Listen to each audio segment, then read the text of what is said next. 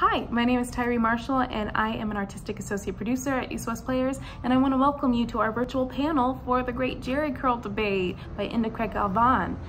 I am so thrilled to have this conversation with amazing AAPI and Black community artivists, I will call them, to speak about building a bridge between our two communities and strengthening our relationships so we can both collectively heal, but also fight against white supremacy within the systems of our country. So I am so thrilled that you are here and I wanna remind you that the Great Jheri Curl Debate is closing this weekend. So if you haven't already, please visit our website and grab a ticket. I really want you to see this important work by Inda Craig Galvan and at East West Players. All right, now on to the programming. Welcome to this panel for the Great Jheri Curl Debate, and it's called uh, Building a Bridge, which is bringing amazing AAPI identifying and Black identifying folks, artists, uh, people to talk about bridging uh, a gap or coming together to help each other heal within our communities and uh, help each other fight against white supremacy. so I have some beautiful folks here that are gonna speak and uh, I cannot wait for y'all to meet them. But first, I want to do some introductions. But personally, I want everyone on this panel to introduce themselves because I feel like even if I did do a spiel, I wouldn't give y'all um, justice because y'all have lists of things. I can go on. but I want everyone to hear what you have to say about yourself, and I want you to put out what you want folks to hear. So I will popcorn it to Tiana. Hi, I'm Tiana Randall Quant. Um, pronoun she, her, hers. Uh, sorry, I forgot to put that in my name description. Um, but yeah, I am an, an actor, um, collaborative storyteller. Um, I'm one of the co-founders of Blacklist, which is a, a, sort of green book accountability mechanism for LA theater. Um, I'm also one of the authors of the Los Angeles Anti-Racist Theater Standards. Um, and yeah, and I'm really excited to be here. If you want to popcorn it to somebody else. um, I will popcorn it to Chris. Hello, um, my name is Chris Anthony, and I'm an educator, a director, a theater maker. I was in Los Angeles for a very long time making Shakespeare adaptations with teenagers at the Shakespeare Center for their summer job. Um, and so a lot of my work has been at that intersection of conversation and art making and community, sort of how all those things fit together and I'm very excited to be part of this panel. And I will popcorn it to, is it Celia or Celia? It's Celia. Thank you for asking. yes. Um, I'm Celia Mandela Rivera, she, her, her pronouns, um, Black Latinx theater maker, administrator, um, the literary manager at IAMA Theater Company. I am also co-founder and creator of Blacklist, and co-author of LA Anti-Racist Theater Standards. And um, just super excited to be here. Jade. Hello, my name is Jade Cagalawan. I am the Arts Education Director for East West Players. Um, I am also currently a grad student over at Cal State LA, getting my master's in education over there, emphasis in curriculum and instruction. It's been really fruitful uh, being there. I am also an educator. I teach at Cal Poly Pomona for the theater department, and I also oversee the uh, student hiring for the music department there as well. Um, and I'm an organizer with Gabriela South Bay, which is a Filipino women's organization, and we work on um, well different social issues, not just uh, what's going on in the Philippines, but here as well, and how uh, U.S. imperialism affects everybody. So yeah, gonna popcorn it over to Lee.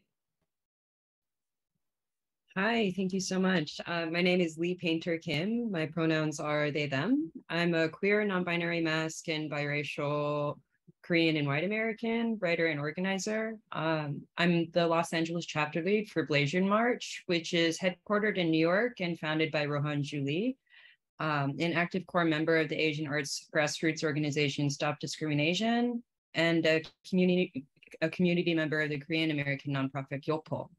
Um, recently, I've published with uh, Routledge, GeoPress, and a few uh, other um, publishers on issues related to Asian and mixed race identity and systems of power within the fine arts industry. Um, my organizing centers queer and trauma informed approaches to interconnected struggles and social and cultural transformation.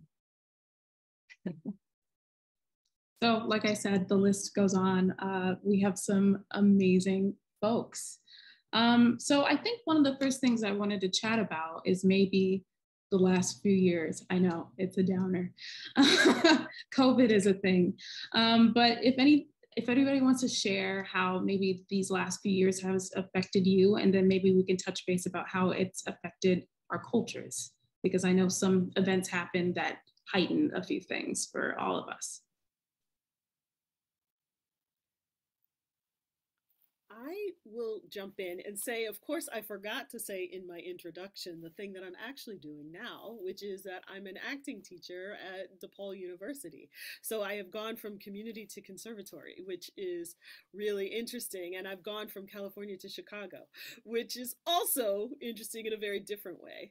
Um, but I, I, one of the things that I will say is that um, I have, I've, I said this to my students earlier um, today is that I am, you know, I'm a black woman from the Midwest. Um, I'm of a certain age at this point, so my parents grew up in segregation. My my people are from the South. I'm a I'm a first generation Midwesterner. I'm the fifth generation freeborn. Um, all of these things are very um, present and alive for me. And I take that with me into the classroom because I feel like my whole education was about surviving a system. And 2016 told me that I could no longer, actually, the George Zimmerman trial told me that I could no longer be content to teach students how to survive a system my job as a teacher is to empower people to change systems. And that is a really big turn for me. And I've been working on it. I've been working on it. It's not just right now today, it's not just 2020. Uh, and I will say, I see students receptive to that message. And so, one of the things that happened in the pandemic, you know, we moved to online classes. It's like, that was a that was a trauma right? That was a trauma but it allowed a lot of people to see the same thing at the same time. I was literally in class on january 6th you know and my students are saying chris can we watch this? What is going on? Right? Like we all watched it together which is really difficult i think in the era of streaming and we don't watch walter cronkite at six o'clock or whatever. Um, but i feel like one of the things that i have learned is that my students are ready and hungry for the tools to make change. And um, being young, some of them have come from backgrounds where their families have made sure that they were never uncomfortable one day in their lives. And so they're meeting people who have always been uncomfortable every day of their lives. And so just trying to figure out what that means for us as artists what does it mean for those of us who seek the truth to speak the truth? So um, I've I've seen a lot of willingness, and that's one thing that I'm actually really excited about since 2020.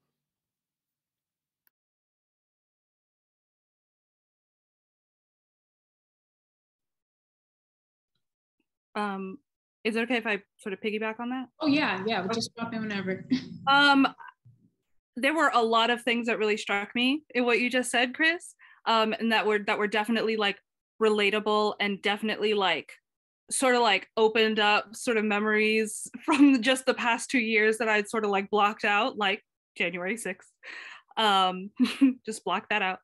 Um, something else that you said though was um, talking about being first generation Midwesterner and fifth generation freeborn because it's so one that's such a low number but it's so it's probably very very common among you know people of the african diaspora of black people you know and stuff like that. And so like i'm thinking about like so i started like kind of doing math a little bit after you said that like okay like uh, two three four like yeah like and and for me it's probably only like four or five also. And so i was just really st- struck by that um but also talking about the pandemic and talking about how it it really turned everything on its head and and how um, the the shutdown turned everything on its head.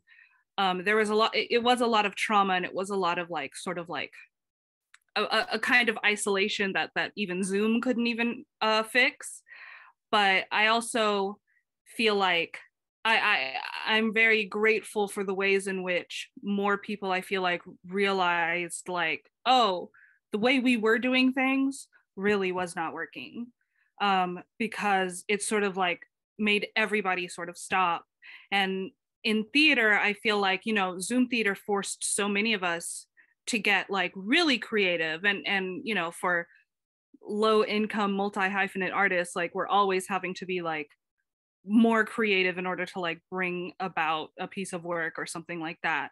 Um but like zoom really on sort of like an institutional work culture level sort of changed things i feel like changed our our work culture that we had in la theater.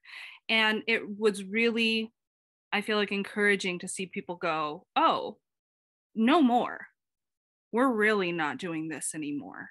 We're really not doing this anymore um and and so yeah so i've been really grateful to see that progress and i've been really grateful to see the pushback and the resistance that there has been in the face of so many institutions trying to go back to normal and, and pretend as if the pandemic is not still going on or pretend as if things haven't changed and stuff like that and oftentimes going back on the promises that they made you know over you know over the beginning of lockdown especially like the summer of 2020 and stuff like that there was a lot of promises made about like racial equity and and actually addressing and dismantling white supremacy and actually dismantling all these things that had been hurting artists for generations uh, you know and then after the holidays suddenly it was just like oh did we say that? And it was just like yeah you did.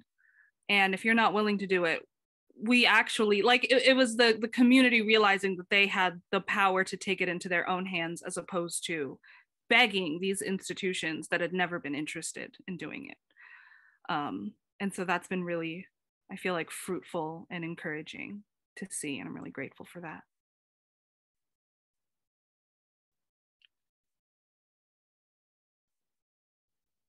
Well thank you tiana for those beautiful words yeah it's definitely been such a trying time for all of us. I mean, it's technically still happening. Um, I mean, it feels like it, it's kind of dwindling down, but I, I'm hesitant to say that it's over. Um, but do you feel like things have been more heightened during that time? Or do you feel like social media has definitely been a big presence in revealing certain things or revealing certain things to a group of people that may have not realized that that's this is what has been going on when it comes to race in this country. Because i feel like there was a lot of realizations that happened these past two years because we were in lockdown. Um, but it's it's things that we've always had to deal with that have been brought to light more. Um, so does anybody have anything to say about that? Do they feel like they've noticed that presence change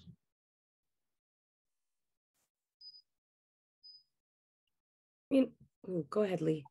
Oh no, no, please, I'll wait. It's okay. No, please, please. Are you sure? Okay, thank you. Um, yeah, absolutely. I, I'm I'm so grateful for this conversation too. Um, you know, for instance, with how the Asian American community has been impacted and targeted by uh, 45.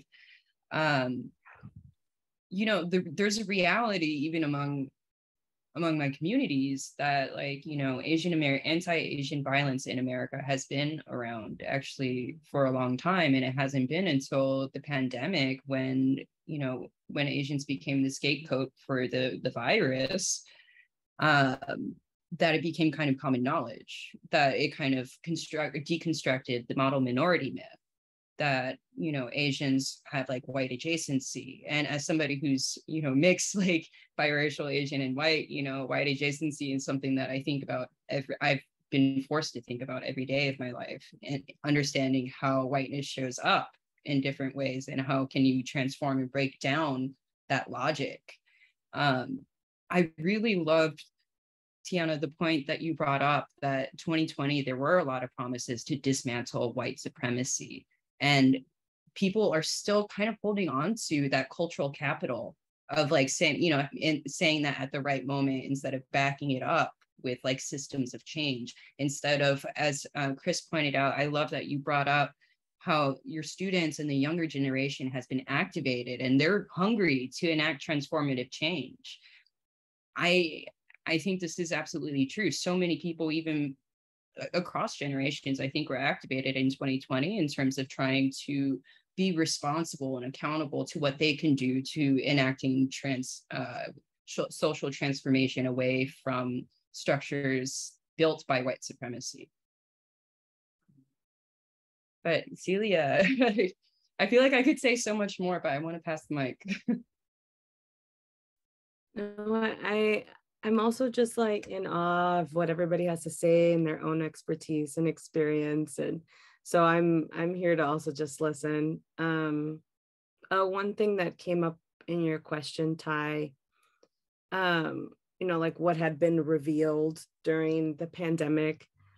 Um, I mean, obviously for me, it was like revealed, not revealed, but like a lot of white people still didn't get it.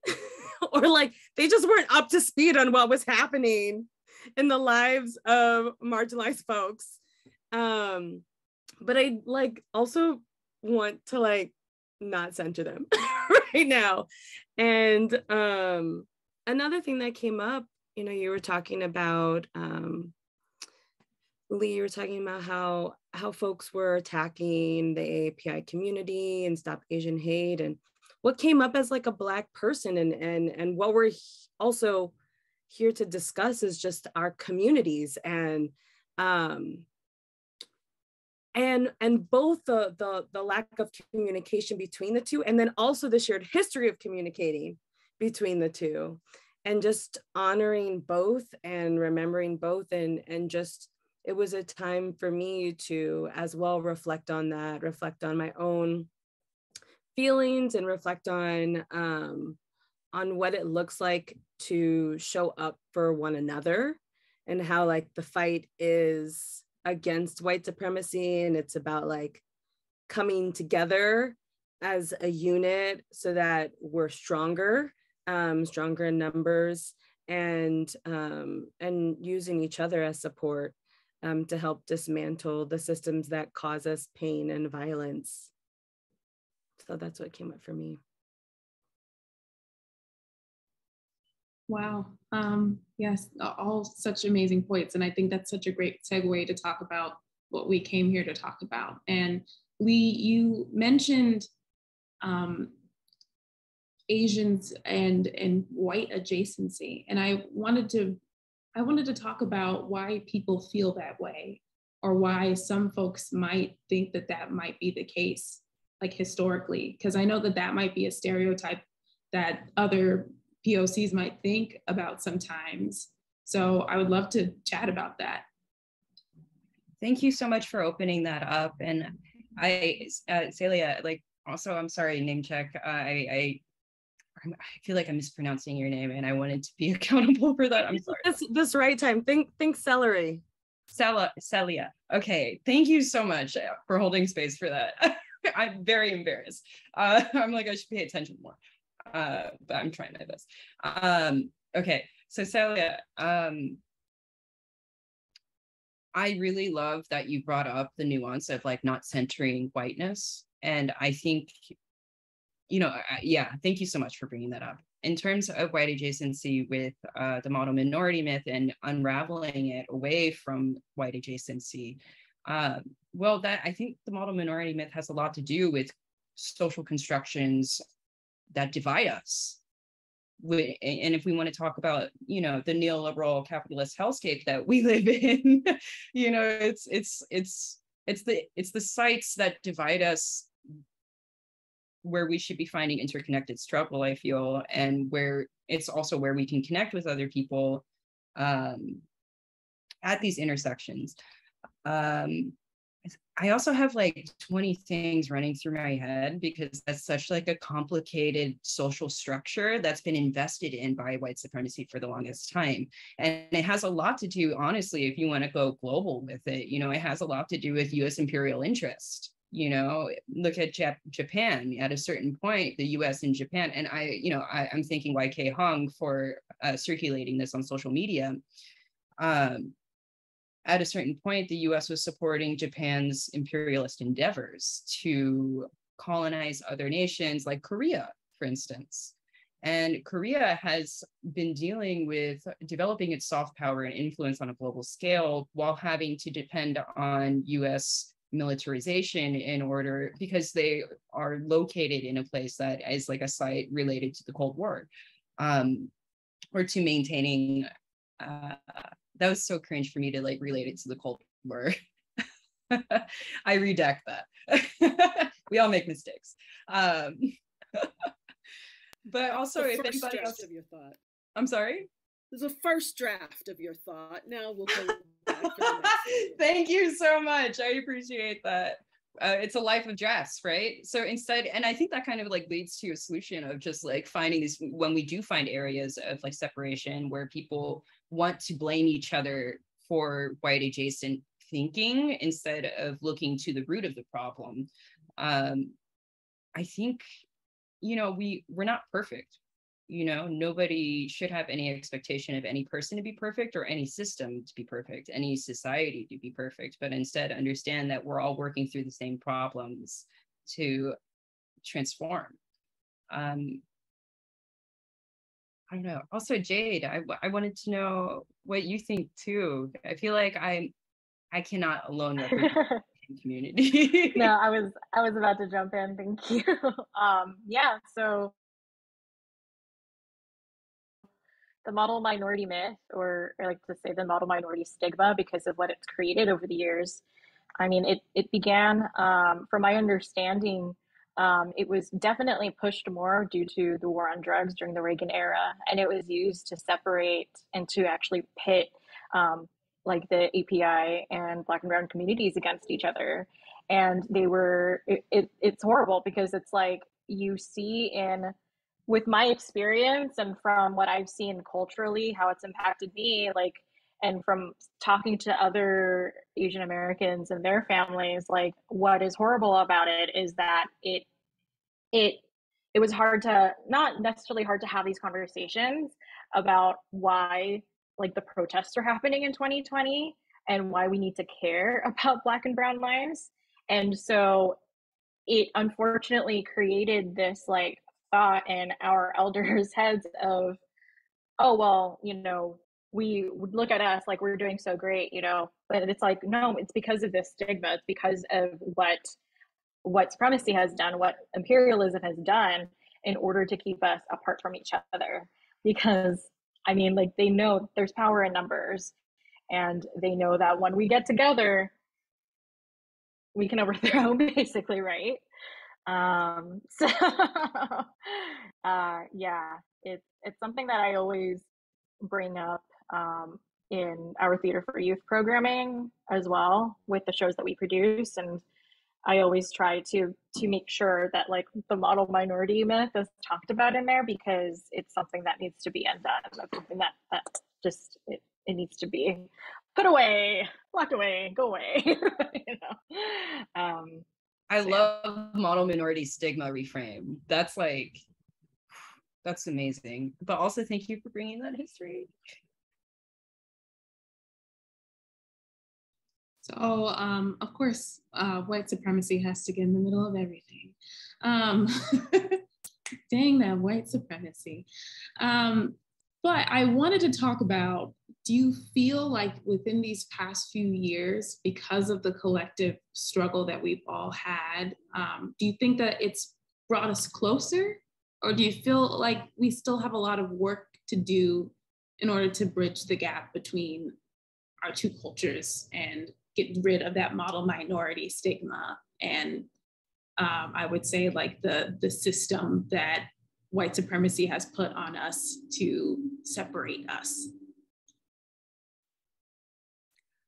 Um, unless somebody else was going to jump in, but um, I I think that the past few years and like the the sort of like the collective and and I wanted to something that you said earlier, Celia, about how like when white people came to the conversation about race, you know, when when the pandemic forced them to, um, how so much of that so so much of that language and so much of the discourse that they were bringing to the table was so outdated or was you know set up to protect them and stuff like that. Like it wasn't actually based in reality. Um, and i feel like because of you know the the stigma of the model minority and the ways in which you know the united states actively you know pits you know marginalized people against each other and creates a sort of like culture and mindset of scarcity of, of rights and equality and resources and stuff like that. Um, I, I feel like that they were coming to the they were coming to the table with the same discourse that like reflected the things the the sort of like cultural mythologies that that created that tension. And because we could recognize it as outdated it was easier to to get on the same page i feel like about what white supremacy was especially because we were seeing it played out in front of us at these tables and these meetings and stuff like that.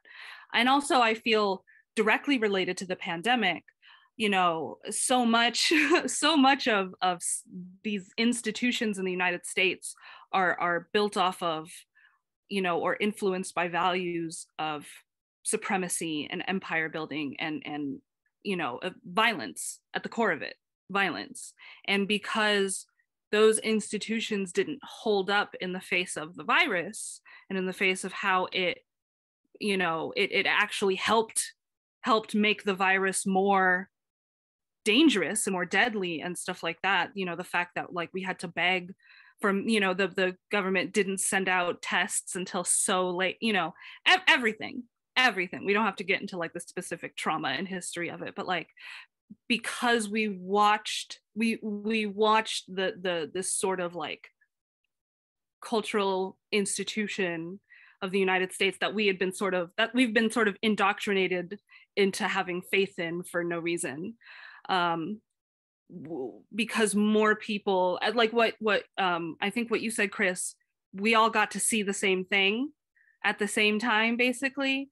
Um, I feel like that it, it, it's sort of like brushed away that sort of the everything that had been in the way, especially between like the AAPI community and the Black community, because you know there at one point like especially before like the war on drugs or you know the war on black people and poverty basically before that i feel like there had been a a, a connection but do, there had been connections between the AAPI communities and the Black communities, especially like during the civil rights era and stuff like that. We were seeing a lot of the same kind of connection building that that we're we're getting to build on that now today. Um, so yeah, so I feel like definitely in the past few years, everything that's happened has sort of it's brought everybody sort of to the same reality because at this point it's like you're either living in reality or you're actively living in delusion. Um, and so that's the that separation i feel like has really helped bridge bridge that those two things.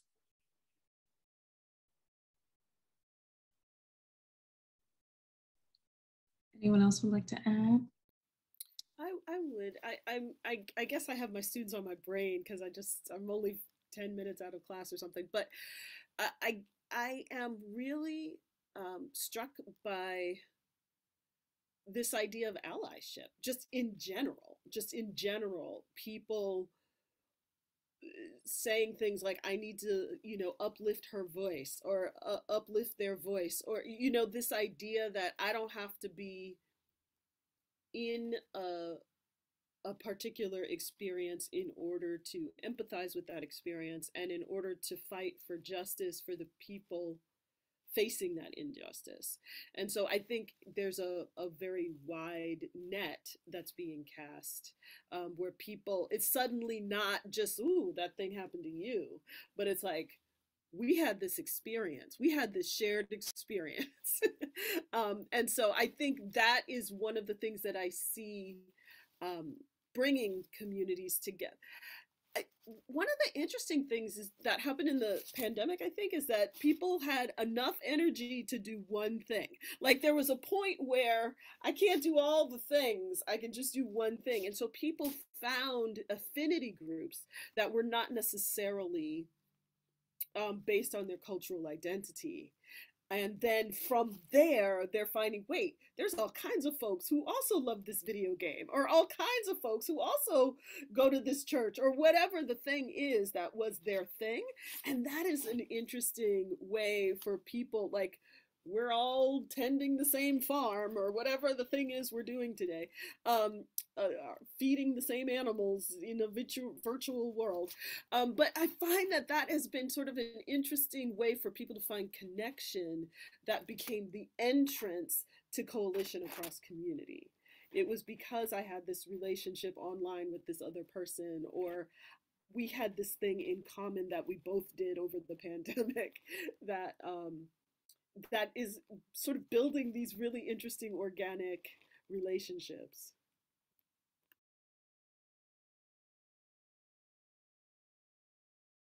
Well, I think we were uh, starting to get into it a little bit of just next steps and how we come together more and really build on that allyship. Um, and I know we have a lot of um, artists on this panel. We have a lot of activists on this panel. So I don't know if anybody maybe wants to talk about what do you think can be done within these systems to kind of build that bridge more and make it stronger? I mean, the first thing that comes to mind right now, I mean, marketing for y'all, but like seeing your show, right? It is, it's a, a piece written um, by a Black woman talking about the experiences of both Black and an Asian man and like showing up literally just showing up and being like, this is a story we're interested in. This is a story we want to see. This is a dialogue that we don't get to have, these conversations.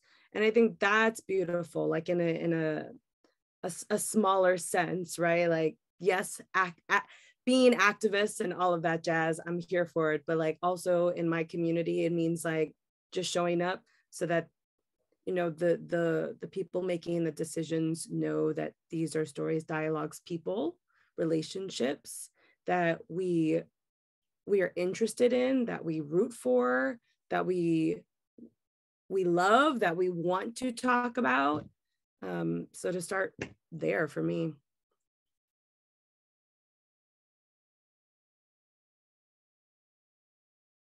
You on mute girl. Yeah. Thank you um, Zoom let me know too late.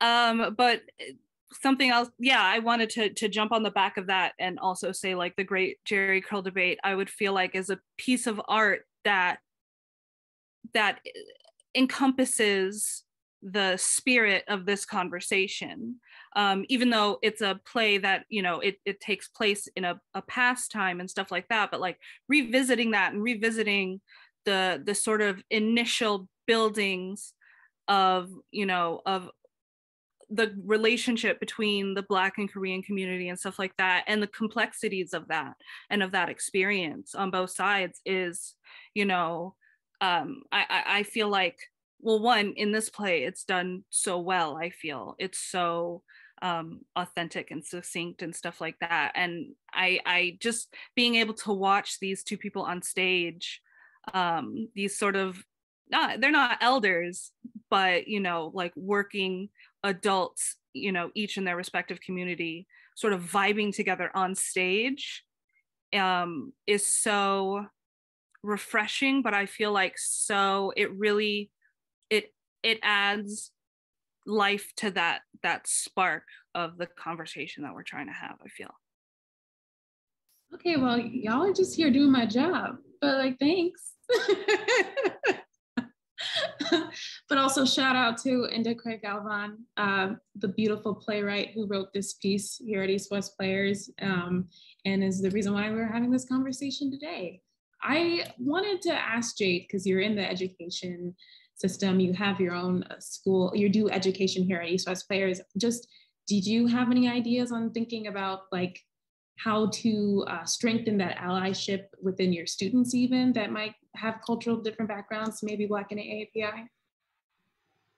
Yeah, absolutely. Um, there, there's a variety of things. I mean, from an educational standpoint, for me, you know, I teach introduction to theater to non-majors, and a lot of what I do is that with the history aspect of it, and just honestly anything in in the class, I try to highlight, you know, um, BIPOC artists, designers, um, even it, with the shows themselves, because a lot of the time when you are taking an introduction to theater class, you're always told to read like Death of a Salesman or to read Shakespeare, and I, I uh, go in another direction, and like I.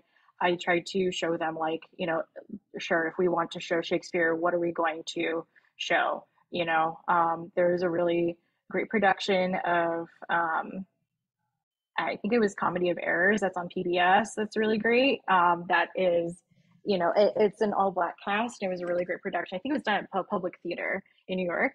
Um, I could be wrong. I'm gonna have to correct myself later. um, you know, I try to highlight, uh, you know, the importance of, you know, why I try to bridge like the world history chapter and it shouldn't be a separate chapter and bring that more so into the let's look at it from a design standpoint because people always try to silo that section and i think that it needs to be looked at for what it is. It's still theater at the end. Um, and so i tried to decenter again decentering the white narrative that a lot of these books have and looking at it um, more uh, from all across the board. Um, and then also, you know, in in the classroom, it can be as simple as like, you know, highlighting uh, a historical figure. Um, and for me, I oversee Theater for Youth. We produce a show every year for youth that is toured to different schools throughout the LA Unified School District. And so this year we are doing a show called When Yuri Met Malcolm, and it's about Yuri Kochiyama and her friendship with Malcolm X. Uh, and a lot of people have really, it's just really uh, connected with them. Uh, a really huge thing is just because a lot of people knew who Yuri was. They didn't know about how deep the friendship was with Malcolm X. And I think that's really important to talk about because there are a lot of people who either don't know who she is or they didn't know about their connection, whatever it may be. And I think that's really important to talk about. And so just kind of moving the conversation in that way. And I have like a whole list of things but, as an educator, but you know, that's that's kind of, you know, scratching the surface, you know, change, really looking um, intently at your curriculum and really thinking like what changes can I make to um, you know, decolonize, that's the word, decolonize the curriculum, decolonize, you know, what we've been doing. So I wanted to piggyback uh, to Chris to see if you wanted to add anything. I know you deal with uh, students and you're teaching acting, um, which uh, props.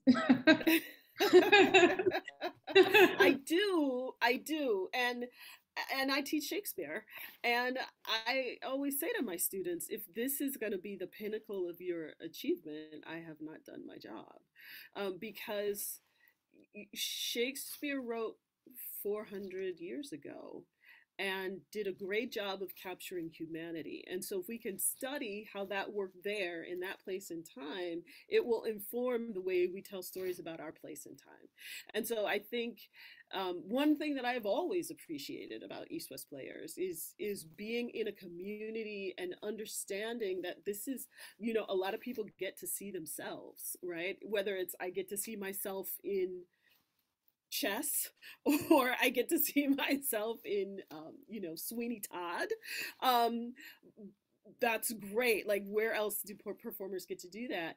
And East West is a place where you can see stories like the Great Jheri Curl debate that nobody else is necessarily putting on their stages. And I think that that's where we're going. It's like, what are the stories we haven't seen, right? Where, what are the ones what are the stories that don't get told and i think you know thinking about young audiences in the spring i i directed a play about physics for middle school students um, about kids who love physics and love theme parks.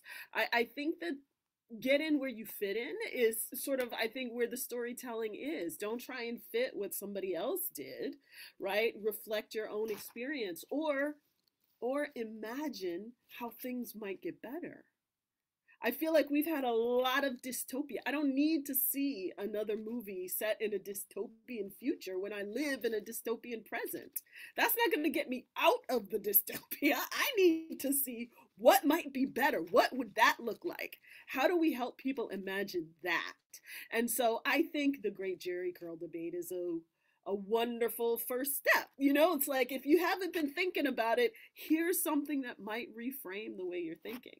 Um, I think the more we give our students, our artists, our colleagues, our community members, our elders. How many stories do our elders know that they haven't told? It's so hard to be a young person and know what to ask right? So how do artists help young people talk to elders? Um, I think that there are are so many opportunities and so many so many storytellers who can tell us so much about ourselves things that we thought we had to keep secret or things that we thought nobody would believe about us or things that we had to carry alone. So I think a lot about that. Like, what are the stories of the future so that you take your place in the line of storytellers that were way before Shakespeare? Shakespeare took his place in that line, and now what comes next? I'm really excited for the what comes next. Yeah.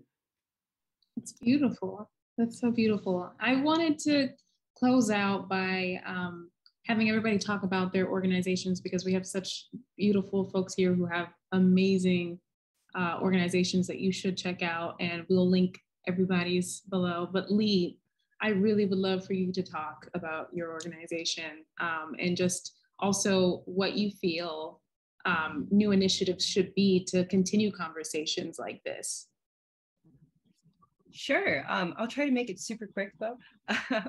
so um,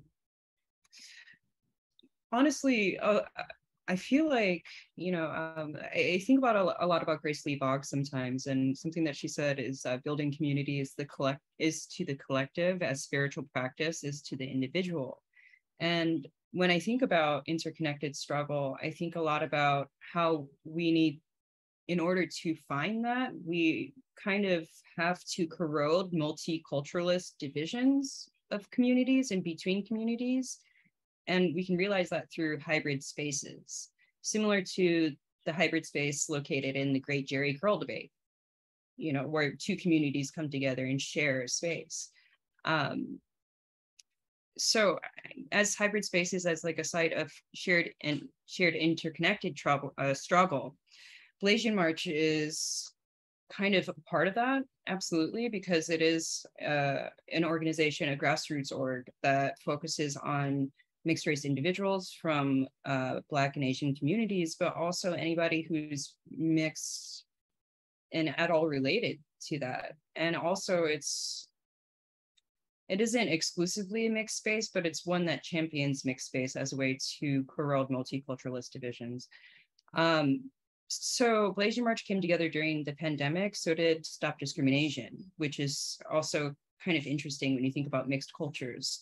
Um, Stop Discrimination is uh, comprised of East, uh, Southeast, and South Asians uh, across the US. Um, and it's been pretty interesting to see how we've come together to understand the multiple levels of our community.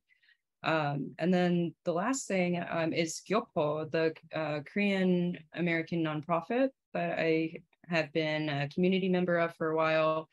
Um, we're working on a mixed race panel, um, and that will hopefully turn into kind of a series that points to creating spaces that are hybrid and to acknowledge that we are all sharing space. We aren't necessarily divided by superficial ideas of how we're socially organized. Um, yeah. Thanks. Of course, I know. I'm just I'm so thrilled that you're here and to to be able to share your work. Um, we also have another great organization um, in the form of Celia and Tiana. If you all want to talk more about Blacklist and the standards uh, and all of your work. Um, yeah, um, uh, Celia and I, along with our other co-founder, the incredible Ariel Flynn Bolden, um, we all we're, we're uh, the founders of Blacklist, um, which is it's spelled without any vowels um, and without a C. Um, uh, you know, it's a, it's different than the the the film Blacklist that, that a lot of people know. Um, but yeah, but but it came it came about as a the original inception of it was sort of a green book for LA theaters, and for those who don't know, it, um, it was sort of modeled after Victor Hugo Green's uh, The Negro Motorist Green Book, which help which was designed to help mostly black people but people of color like know where exactly in the country it was safe to travel. Um, you know like it listed sundown towns it listed motels that accepted people of color it, it listed you know restaurants that were safe and that would serve non-white people and stuff. Um, it, it was actually something that my grandmother used to uh, when she drove cross country from washington d.c to california it was something that she had to use in order to uh, find safe spaces. Um, and we wanted to use that to promote the concept of transparency and accountability um, in regards to the harm that happens so much to marginalized actors in, in you know in LA theater. Um, uh, in a similar vein, the the standards are modeled after the We See White American Theaters list of demands for Broadway, um, and it came from a larger group that um, that wanted to sort of i guess the idea was sort of like rebuilding a sort of los angeles theater center that wasn't designed wholly by artistic directors who mostly happen to be white and male and of a certain age um, and also just dismantling the cult the the institutions and the cultures that made it so white men of a certain age were the only ones eligible for authority. Um, but yeah, it, it it really just started as a way in which to promote, or Blacklist started as a way in which to to promote the idea of speaking about our harms and speaking about our experiences and shared experiences, um, which is something that's been brought up a lot in this conversation um, and dismantling the culture of silence and retaliation that upheld so many toxic and harmful and white supremacist cult, uh, you know interpersonal cultures like in our re- rehearsal spaces in our offices um, in our programming in our seasons and stuff like that.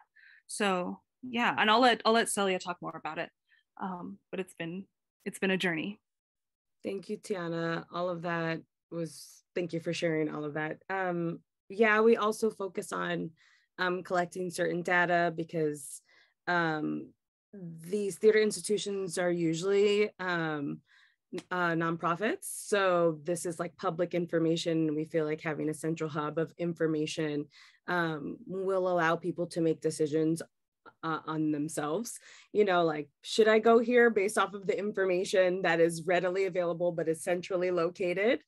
Um, it's also our aim to create a, um, in terms of the like, the the Green Book, a an even more direct way of of of of saying based off of the information gathered um, it looks like this theater is working towards progress, or it looks like this theater is just like not participating in anti-racist things at all. Um, so that's a work in progress as well. Um, and then we've currently um, started a new initiative called Preventative Care, where folks are re- reaching out to us um, in our DMs, emailing us, and basically being like, I'm in a situation. This is my experience. How can you support us and one specific thing that that came out of that was like if they're experiencing something or like see like super red flags, particularly with like a production, let's say, um, they'll reach out to us and we can reach out on behalf of the community to limit the um, retaliation that they would experience. So we're an entity and saying, hey, we're seeing this, you know, based off of your decisions for this piece or, you know, who you hired to do this and this is your history. And you signed on to LA Anti-Racist Theater Standards, you know, what we would like to see is this, this, this, and that. And it's also a way of harm reduction because the people coming to us don't have to like step up to the plate and be like the sole person who works there or who works there often, hired as an actor or what have you.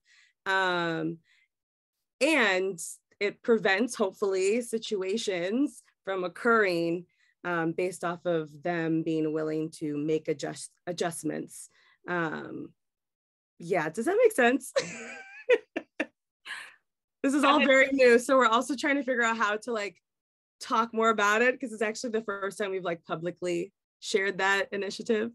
yeah, of course, that makes a lot of sense. No, I'm I'm really happy that um, y'all shared. Thank you so much for that information. Um, I wanted to piggyback on Jade. I know you talked a little bit more about um, when Malcolm met Yuri, but is there anything else you wanted to add to that for, or maybe there's other opportunities for folks to see or participate? Yeah, sure. So um, people can see the the show uh, at actually East West Players and in, in the courtyard. We like to do courtyard performances of our Theater for Youth show. Um, so the next couple will be on October 16th and 23rd at 4:30 p.m. And then we'll also be doing another one um, at Echo Park Library on October 17th as well, which is a Monday at 4:30 p.m. Um, also. So yeah, we also do professional enrichment programming. So we do have a couple of classes up still.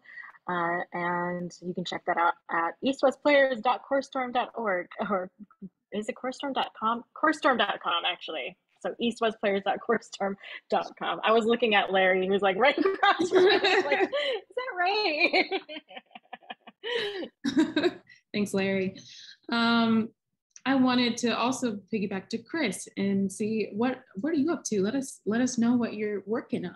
Are you? I know you're in yeah. rehearsals. If you're in Chicago, yeah, actually, as it turns out, I am working on an adaptation of Henry IV Part One, where the Shakespeare play is the play within the play, and the students have created the metaverse of uh, what it is to be in drama school and what are the systems that they run up against in art school and what needs to change. So that is so a whole conversation.